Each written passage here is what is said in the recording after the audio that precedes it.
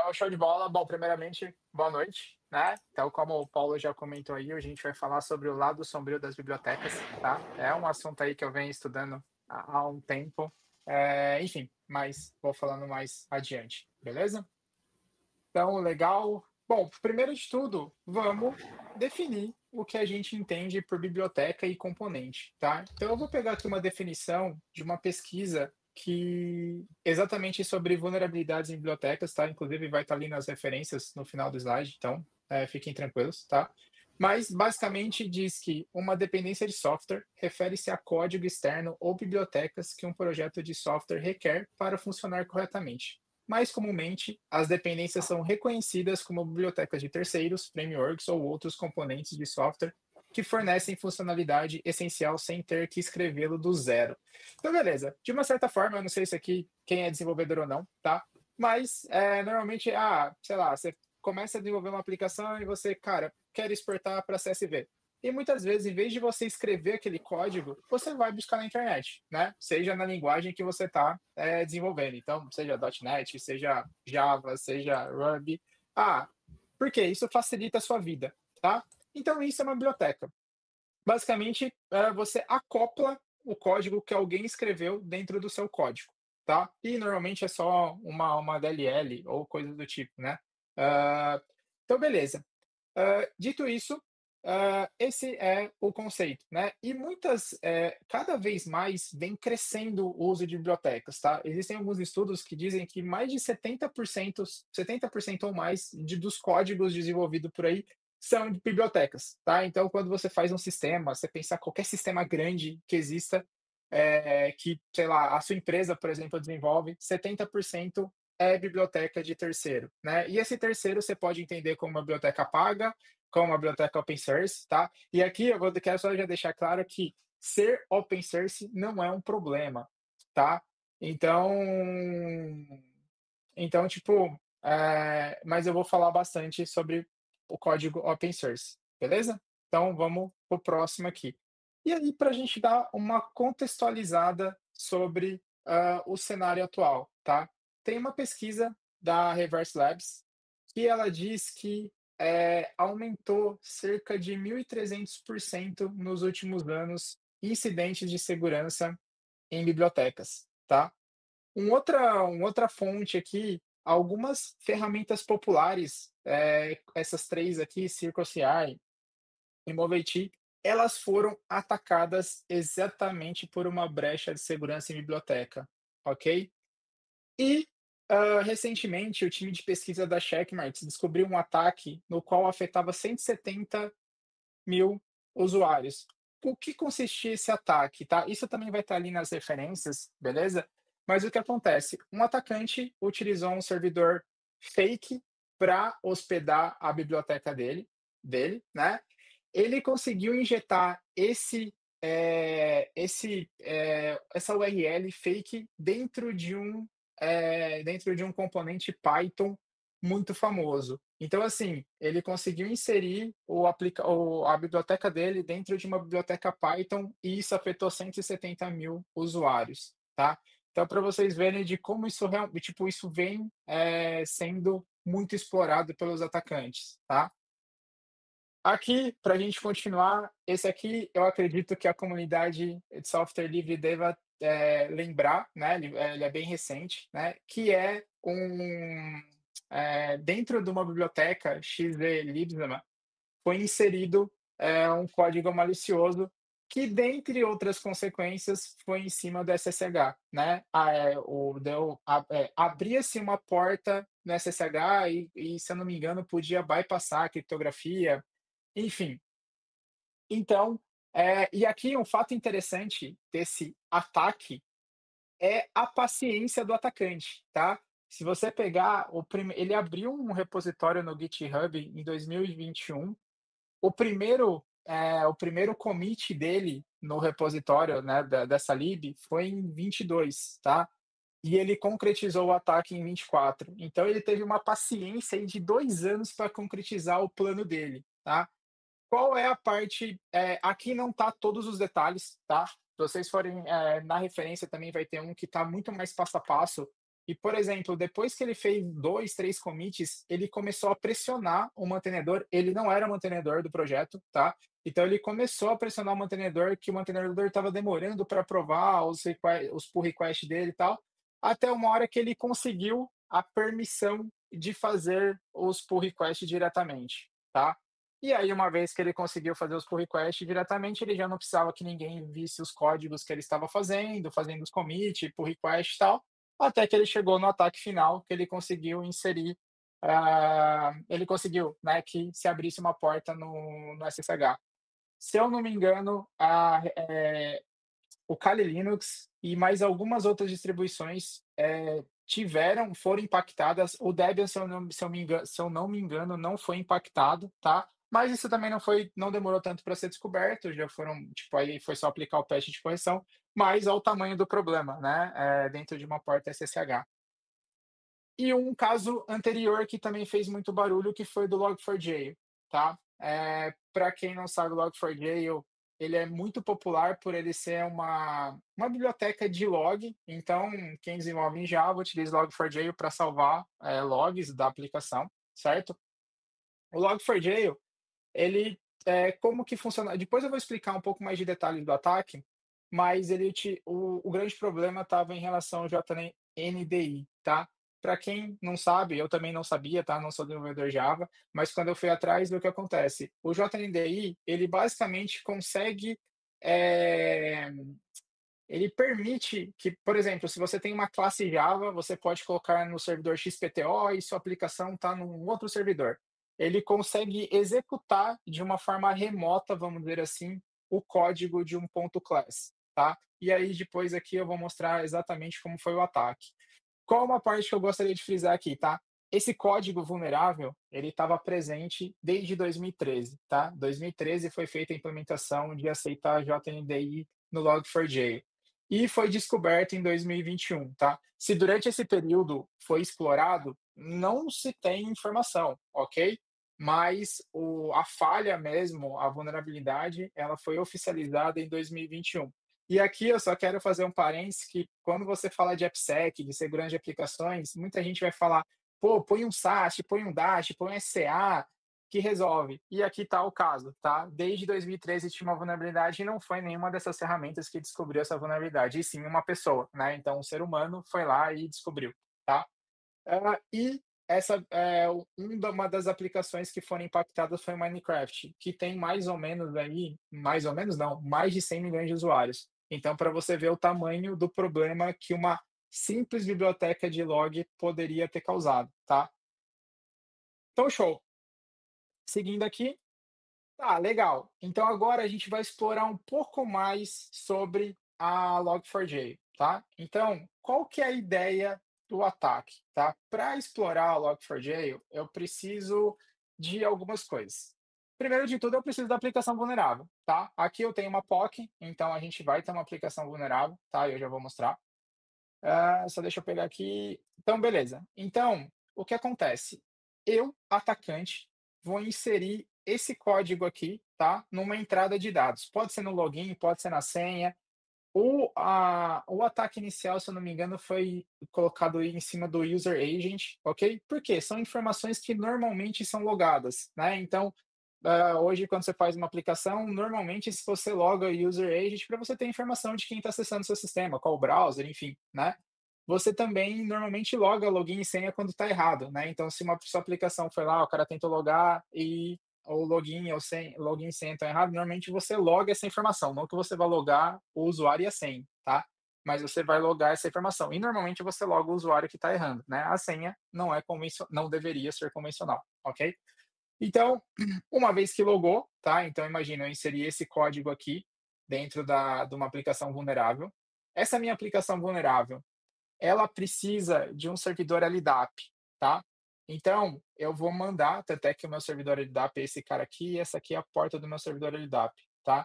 Então, uma vez que eu tenho esse código, ele vai acessar o meu servidor LDAP, que aqui no nosso, no nosso evento vai estar numa porta é, local, tá? Porque é um ambiente controlado, mas o certo seria estar numa porta externa. Uma vez que o servidor, que a aplicação chama o servidor LDAP, ele vai lá e chama o exploit, tá? Esse exploit, então, ele é carregado pelo servidor LDAP, que vai ser carregado pela aplicação e e o último passo, ele vai abrir uma porta e se conectar no Netcat da vida, tá. Só para eu pegar aqui o exploit para vocês verem. Ai, calma aí que eu fiz arte.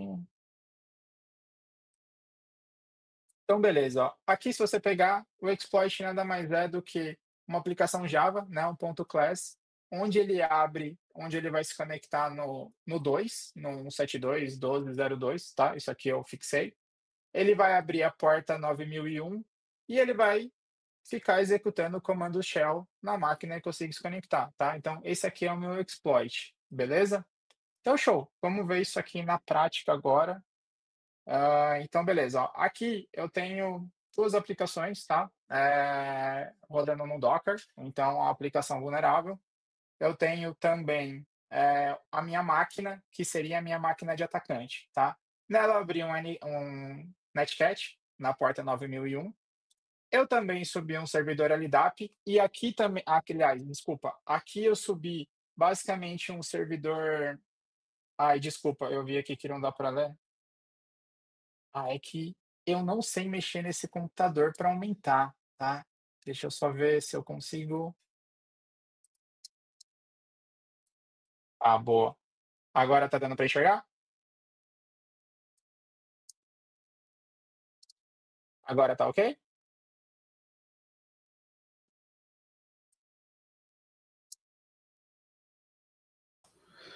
O pessoal comentou que tá pequeno. Acho acho que tá legal. Ah, beleza então. Então deixa eu só aumentar aqui. Então beleza. Então, ó, basicamente, como eu falei, eu tenho um Netcat, tá, na na porta 9001. Então essa aqui é meu computador, onde o exploit vai se comunicar nele, tá. Então esse aqui é a minha máquina, onde eu quero daqui começar a dar comandos. Eu também abri, eh, usei precisava de uma porta 8080, um HTTP da vida, então eu utilizei o Python, tá, um servidor Python, na porta 8000. E por final, eu executei aqui um servidor LDAP também fake, tá. Isso aqui não é um servidor de LDAP de verdade, isso aqui foi feito em Java, eh, também para essa POC. Essa POC não é minha, tá, então também lá nas referências vai estar quem foi o criador da POC, eu só estou executando ela, beleza? Eh, mas enfim, mas ela é bem interessante. Então show de bola, então aqui eu tenho meu Netcat, aqui eu tenho o meu servidor L o meu Python, né, que tá tipo na porta oit 8000 e aqui eu tenho o servidor LDAP, beleza? Então agora deixa eu só pegar um browser aqui, para eu fazer a injeção do ataque. O ataque, basicamente eu vou, eh, passar o ser não é esse, deixa eu só pegar aqui o comando certinho. Um segundo. Beleza.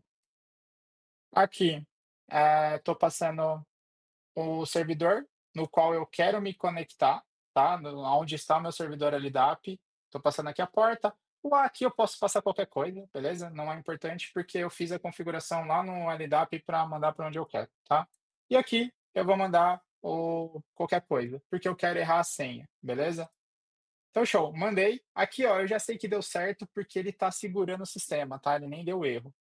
Então se a gente for agora no no na na aplicação, bom, começando, primeiro, bateu aqui ó no meu servidor LDAP, então pode ver que, ó, ele ele tá redirecionando a minha chamada para o exploit.class, beleza? Na porta 8000 que é o meu HTTP, é só para eu poder fazer o download, então e por final, quando a quem tá executando esse exploit é a minha aplicação que tá numa máquina 3, tá, então ela tá num servidor à parte, como se fosse uma aplicação de verdade. E por último, ela, essa aplicação 3, ó, se conectou aqui no meu Netcat que é o 2. Então se eu der um comando aqui ls, eu tô lá no servidor, eu tô na verdade na onde tá hospedada aquela aplicação. E aqui eu posso fazer o que eu quiser, tá? Então a a criticidade de uma dessa vulnerabilidade do do Log4j é exatamente por causa disso, ele te dá um shell reverse na máquina. Ou seja, através de uma vulnerabilidade de biblioteca, eu conseguiria, eh, ter acesso ao seu servidor. E aqui o céu é o limite, tá? Ah, aqui beleza, eu caí como root, né? Eh, e aí a gente já no final eu vou falar sobre boas práticas disso, mas eu poderia ter caído com usuário normal, mas mesmo assim, aí vai na criatividade do atacante, né? Vai que ele consegue escalar para root, vai que tá com, sei lá, eh, um um kernel vulnerável, que é possível, enfim, eh, o cara tá dentro. E uma vez dentro, ele conseguiu, acho que o mais difícil, né, que é estar tá dentro do servidor. E aqui ele pode escalar lateral, enfim, aí vai ser a criatividade do atacante. Beleza? Então esse é o ataque do Log4j e o tamanho da criticidade dele, que é eu conseguir um shell reverso numa máquina, num, servidor, tá? Aqui, só deixa eu parar, aqui tá pequeno, não vai ter problema, tá pequeno, deixa eu ver. Só deixa eu parar que eu não vou mais precisar dessas máquinas aqui. Então, deixa eu parar meus Docker.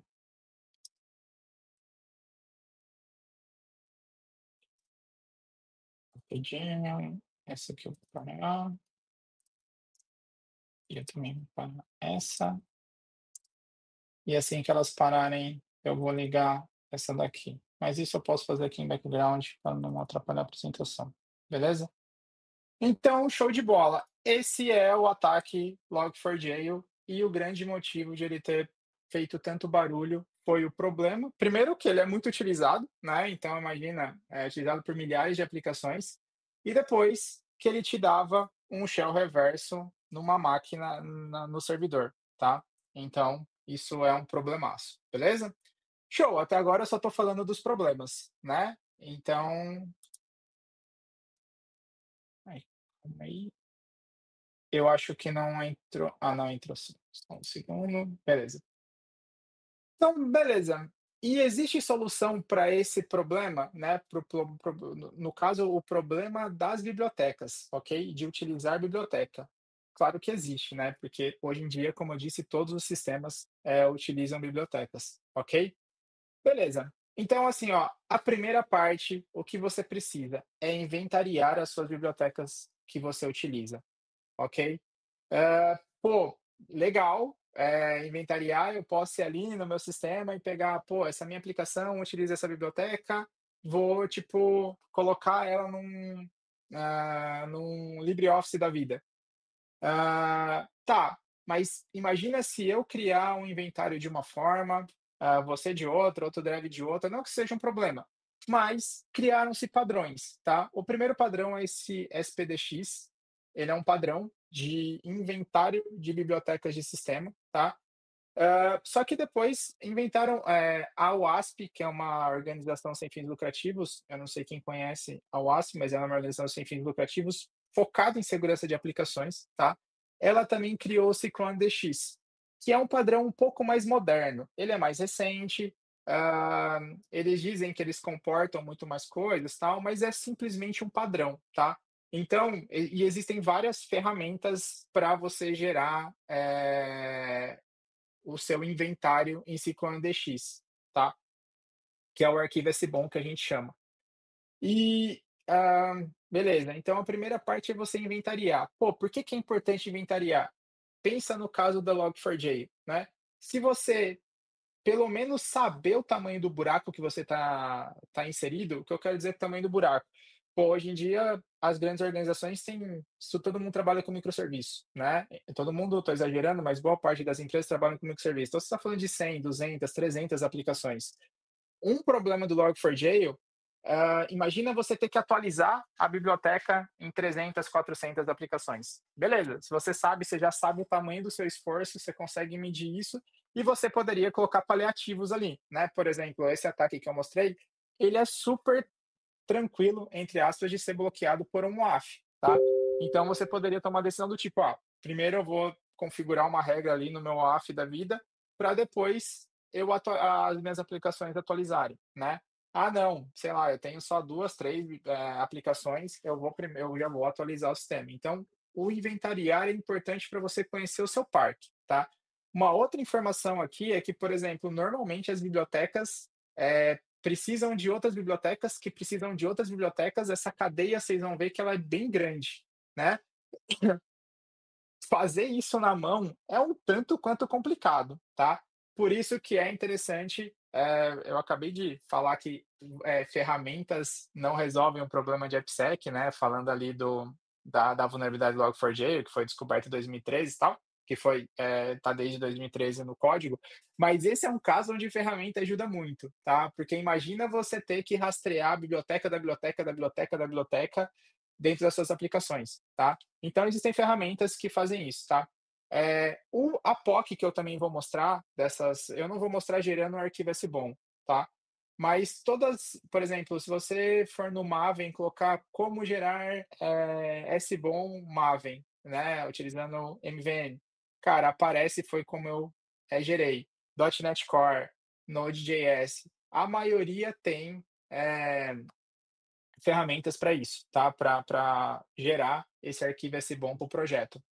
O ponto importante aí, existem também ferramentas que geram de mais de uma mais de uma estrutura, tá. Porque é diferente como o Java guarda como o Maven guarda as como ele estrutura, né, as bibliotecas, é diferente como o .NET, é diferente, então mas existem ferramentas que fazem tudo de uma vez, tá. Isso é importante você ter na sua esteira. Então imagina a sua esteira de desenvolvimento ali, quando passar por tal fase, você executa essa ferramenta, ela gera esse arquivo SBOM e, cara, você faz o que você quiser, entre aspas, com esse arquivo SBOM, tá. Você pode salvar num bucket da vida, hã, você pode importar numa ferramenta que eu vou mostrar daqui a pouco, que é a Dependency Track, também uma ferramenta open source desenvolvida pela WASP, tá.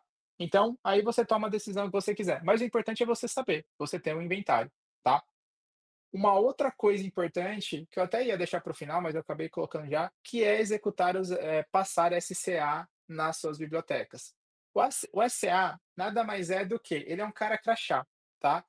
Ele vai pegar a sua biblioteca, o nome da sua biblioteca, mais a versão dela, vai consultar num banco de dados, eh, de vulnerabilidades de biblioteca e vai dizer se aquela biblioteca que você está utilizando é está vulnerável ou não, tá. E aí, sendo vulnerável, ele vai inclusive falar qual é a CVE e coisa do tipo.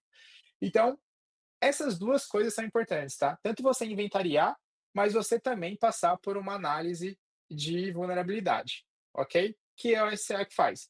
No caso do Dependency Track, ele ele além de ser um SCA, ele também exibe, eh, deixa visual os arquivos SBOM, tá. Então ele consegue receber os arquivos SBOM, através do arquivo SBOM, ele vai fazer o SCA, tá, ele vai fazer a checagem de vulnerabilidade.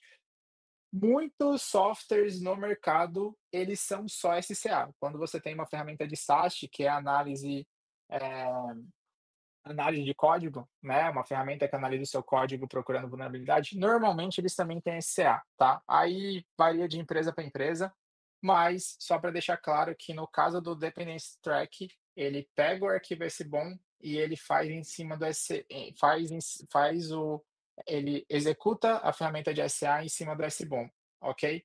Mas aí cada ferramenta de mercado vai ter sua estratégia. Mas nesse caso, como eu disse, ferramenta ajuda muito, beleza? Legal, a mesma coisa, tá. Vou vou aqui mostrar, eh, pra vocês na prática como que a gente armazena isso. Então beleza, deixa eu aqui ver se as coisas estão funcionando.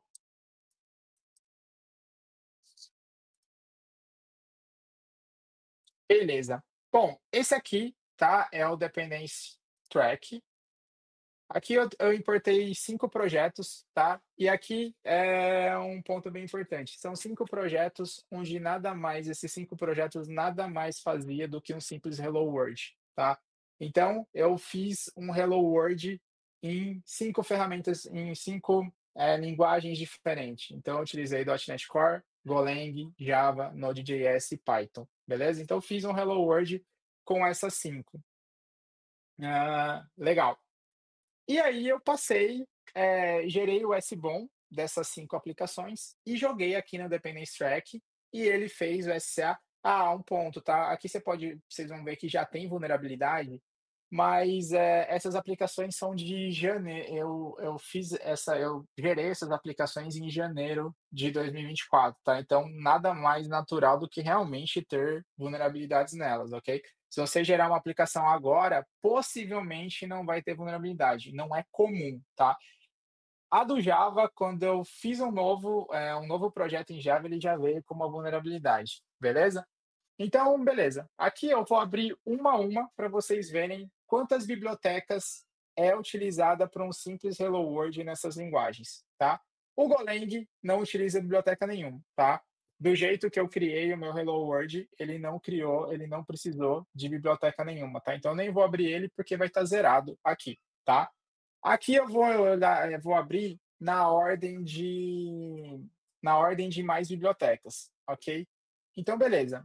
Aqui uma aplicação Python, um Hello World, numa aplicação Python é, utilizando Flask, tá? Ele utilizou sete, sete bibliotecas, beleza?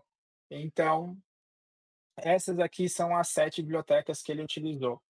Aqui, por exemplo, essa ferramenta também ela já fala que esse que ela está desatualizado, tá? Então, por exemplo, a versão que eu utilizei na época foi a 3, ele já está na ele já a mais nova seria a 303, tá? Isso ele vai fazer para todas, beleza?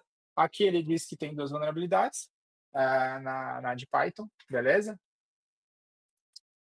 Show. Agora vamos para a de .NET. A de .NET também são sete, tá? Então, um simples Hello World em .NET, eu preciso de sete bibliotecas. Aqui é uma coisa que eu queria mostrar, que é a dependência da dependência, tá? Então, essa aqui é a cadeia em .NET para você criar. E aí, aqui são uns pontos interessantes de se conversar, tá? Por exemplo, beleza, as bibliotecas que eu, Thiago, setei no meu projeto foram essas duas aqui, ok? Acho, deixa eu aumentar aqui um pouco a tela também. Uh, as que eu setei no meu projeto foram uh, essas duas.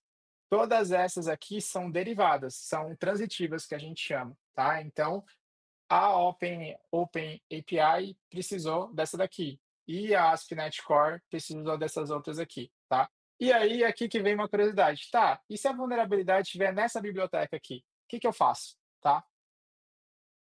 Aí é o que são os, são os poréns, tá? Algumas, algumas linguagens, por exemplo, o .NET é uma que eu sei que pode. Então, por exemplo, eu poderia sobrescrever esse cara. Então, eu poderia pegar uma Open API e eu declarar ela diretamente, ele ia entender que é essa daqui, tá? Mas isso varia de linguagem para linguagem. Um outro ponto importante é, pô, beleza, essa aplicação, essa biblioteca, ela está vulnerável, beleza? É a informação que eu tenho porque foi a análise que o SCA fez. Mas ela realmente está vulnerável? Porque pode ser que a minha aplicação não está utilizando o código vulnerável, né? Mas e aí? Você vai abrir essa estrutura inteira para saber se você está vulnerável ou não? É difícil, né? Aqui, beleza, são quatro camadas, né? Mas vocês vão ver que o buraco é muito mais, muito mais embaixo.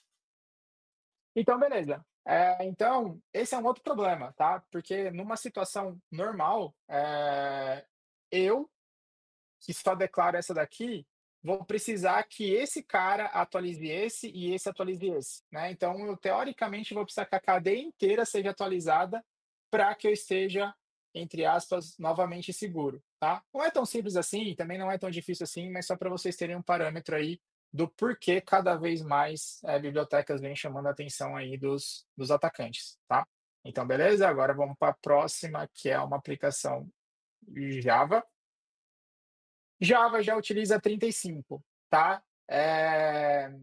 35 bibliotecas. Eu utilizei aqui o Spring Boot. Então, aqui, ó, se eu for abrindo, vocês vão ver que é muita biblioteca que ele utiliza, tá? Ele chega até quebrar a tela e eu não vou conseguir nem mostrar para vocês, beleza? Mas é só para exibir o quanto que é, quantas bibliotecas são utilizadas para um simples Hello World em Java, ok? E por último aqui, é, vamos ver uma aplicação Node que é disparado a que mais tem bibliotecas, foram 62 bibliotecas, tá? Aqui eu utilizei o Express, tá? Para fazer um Hello World em, em Node. E aqui, meu, aí aqui é um monte. Tipo, ele vai quebrar minha tela logo, é, mas... Então, é, deixa eu ver se eu consigo uma que vá mais à frente. Não, todas vão parar aqui nessa cadeia, mas beleza. Mas assim, ó, esse é o grande problema, tá? Então, um simples Hello World hoje utiliza essas, sei lá, 64 bibliotecas, né? Imagina um sistema, então, entre aspas, de verdade, tá? De verdade que eu digo, não só um simples Hello World. Imagina, hoje em dia o sistema integra com Redis, integra com, com mensageria, integra com outras aplicações, integra com N situações, né. Imagina quantas bibliotecas o seu sistema não utiliza e você nem sabe disso, né. Então, por exemplo, ah, se você não tivesse utilizado se eu não tivesse utilizado essa ferramenta, possivelmente eu nem saberia que a minha aplicação utiliza o set prototype type, ok? É claro que, ah, se você for a fundo, você consegue, né, a maioria, por exemplo, ah, eu vou falar de .NET, que é onde eu conheço mais, onde eu desenvolvo um pouco mais, você tem um nugget lá que você consegue ver a biblioteca da biblioteca, mas é um puta de um trabalho, né. Aqui, por isso que eu comentei que nesse caso a ferramenta ajuda muito, tá. Porque ele vai te dar essa visão, por exemplo, essa visão mesmo você não teria, você teria que abrir uma e assim por diante, enfim, eh, é um tanto quanto complicado, tá, não é uma coisa tão trivial de se fazer sem ferramentas, ok. Então nesse caso aqui de bibliotecas particularmente, ferramenta vai utilizar agilizar muito. E um processo bem bem por cima, assim, tá, quando sua aplicação passar numa esteira de desenvolvimento, você geraria o arquivo SBOM, e você, por exemplo, poderia importar esse arquivo SBOM aqui na API do Dependency Track, tá. Então todo o processo poderia ficar automatizado, e aí, vamos supor numa situação de incidente, né, alguma coisa assim, que a minha aplicação agora aqui vai ficar bem lenta. Você poderia pesquisar de alguma forma aqui, então, por exemplo, que tudo que tiver open, ele vai falar pra mim, eh, que existe e qual é o meu projeto que tem, tá. Então, eu não vou ter nenhuma com Log4j, tá, Log4j, mas eu poderia vim aqui, colocar Log4j e você ah, só porque eu falei que nenhuma ter, ele tem. Eh, então, aqui eu sei quais são as minhas aplicações, né. Claro que aqui mostrou a mesma, né, mas num parque grande você saberia: "Pô, tô vulnerável em, sei lá, 100 aplicações, né, qual que é o melhor plano a fazer? Vou usar um paliativo ou vou atualizar a biblioteca?", né, porque aí é um outro problema, que é, hã, quando você tem bibliotecas de uma versão pra outra, então, sei lá, da versão 2.2.1 pra 2.2.2, não é pra você ter problema na na atualização, né. Mas às vezes quando você não tem esse controle, às vezes, eh, às vezes é esse às vezes é bem comum, mas eu já peguei a aplicação que, estava na versão, por exemplo, 10, a biblioteca, e a aplicação estava na versão 3, né. Da 3 pra 10, aí é um pulo grande e a aplicação, por exemplo, pode quebrar, né. Então, por isso que é importante essa governança de bibliotecas, até pra você acompanhar, como vocês viram na nos exemplos aqui, você consegue ter um controle disso, tá. E você poderia como, por exemplo, controlar isso pela esteira, "Ó, tem um monte de aplicação aqui que tá com biblioteca desatualizada, então a gente tem que fazer um trabalho de atualizar".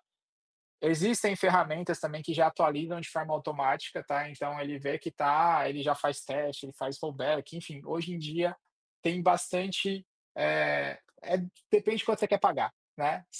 Eh, tudo tem o o preço do do mercado, mas já existem bastante bastante coisa que agiliza bastante essa vida de biblioteca, tá. Mas longe de ser um problema resolvido, tá, muito pelo contrário, tá. Eh, como de como vocês viram ali nas notícias, cada vez mais vem aumentando esses ataques, beleza. Então deixa eu só fechar aqui e voltar pra minha apresentação.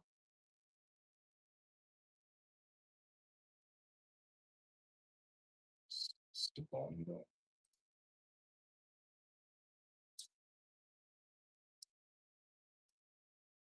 Fez o favor de fechar minha apresentação, só um minutinho que eu já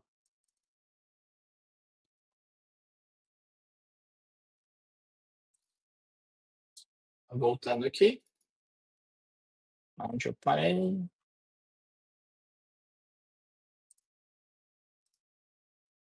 Então legal, aqui são só os exemplos, tá. Eu, eh, como eu tô executando dentro de um rasp Raspberry, eh, eu, tipo, fiquei com receio do tipo, vai que dá algum problema, tal, então, eh, eu coloquei alguns prints aqui, mas nada mais é do que eu apresentei ali pra vocês, tá.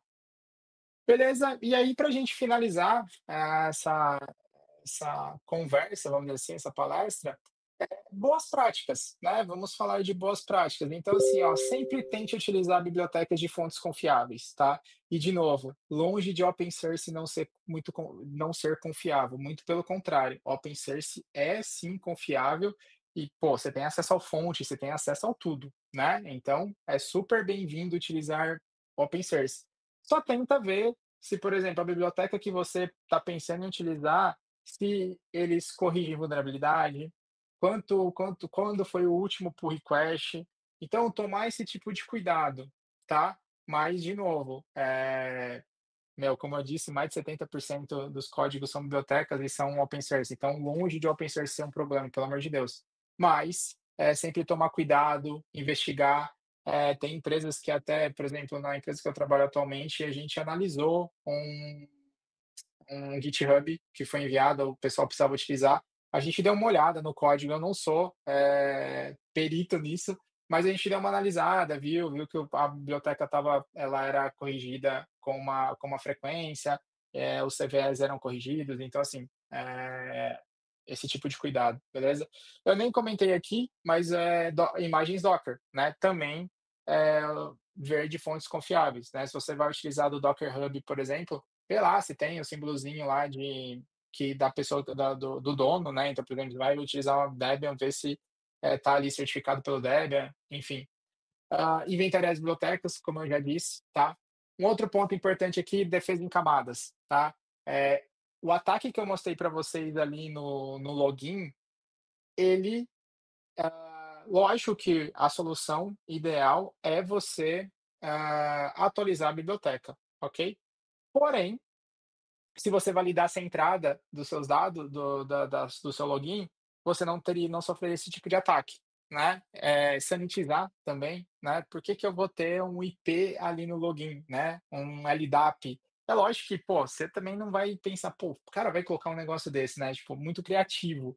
Mas é, validar a entrada. Então, por isso que a gente fala muito, quando a gente fala de segurança de aplicações, camadas, né? Então, inventário é importante, valida a entrada, valida a saída, Uh, um outro ponto de camada, hardenizar o servidor, né? Pô, beleza, se o cara, em último caso, se o cara conseguiu realmente chegar no servidor, que ele chegue com o menor privilégio possível, né? E não root, né? Que nem foi o caso ali. Lógico que meu caso é super controlado, tal, né? É de propósito, mas é, ter essas defesas em camadas, né? Então, cada camada que você vai colocando, você vai dificultando mais a vida do atacante, beleza?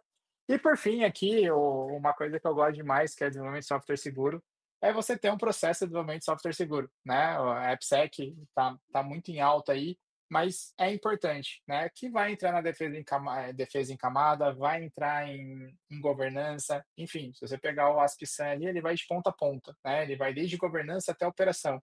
Então, você estaria pensando em segurança em todo o seu ciclo de desenvolvimento de software, tá? Então, é muito importante que você faça isso. Beleza? E agora, galera, fico aberta para perguntas aí. Desde já agradeço aí o tempo de vocês. Espero que as informações tenham sido um pouco úteis aí. Muito bom, valeu, Thiago. Muito bom mesmo. Deixa eu ver aqui se tem perguntas. É, por enquanto, não. Estou olhando aqui no chat. Deixa eu olhar outro chat.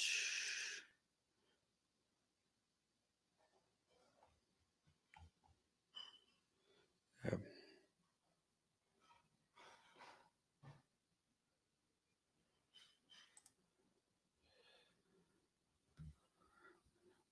Daniel deu parabéns pela apresentação, Daniel Learo. Valeu, obrigadão. Ah, aqui eu deixei alguns contatos, quem quiser entrar em contato, tá? eu coloquei ali GitHub e Twitter, mas assim, Desculpa, Twitter eu nem uso, tá? É só para eu xingar o presidente de São Paulo quando eu tô com muita raiva das cagadas que ele faz. Então só uso o Twitter para isso. Mas GitHub, GitLab, Salsa, enfim, esses aí é, acho que são as redes sociais que eu mais utilizo. Beleza. Deixa eu ver mais tem alguma pergunta. Beleza, Tiago, brigadão pela apresentação.